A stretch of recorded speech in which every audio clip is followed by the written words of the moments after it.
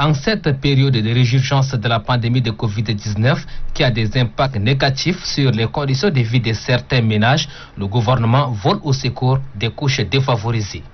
En cette soirée du jeudi, les membres de trois organisations à savoir la Confédération nationale des personnes handicapées du Tchad, l'Association nationale des déficients visuels du Tchad et l'Association nationale de lutte contre les stupéfiants pour l'encadrement et l'intégration des enfants de la rue ont reçu une assistance du gouvernement et ses partenaires. Au total, 250 kits alimentaires sont mis à leur disposition. Les kits ici sont composés pour chacun d'un sac de 50 kg de riz,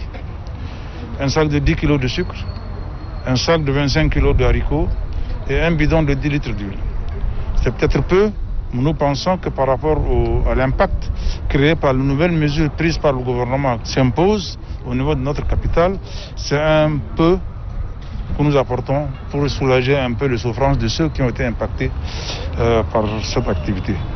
Cette assistance n'est que le début d'une grande opération en faveur des couches vulnérables, affirme le ministre de la Santé publique et de la Solidarité nationale, Dr Abdoulaye Sabor Fadoul, par ailleurs coordonnateur de la sous-commission assistance aux personnes démunies. Autant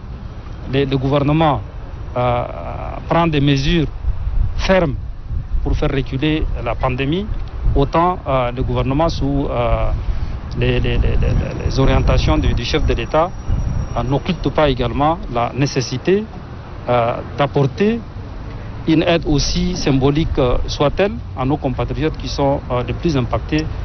par, ces mesures. Le ministre de la Santé publique, Abdoulaye Sabr Fadoul, a saisi l'occasion pour demander à d'autres couches vulnérables de s'organiser pour bénéficier de cette assistance dans les prochains jours.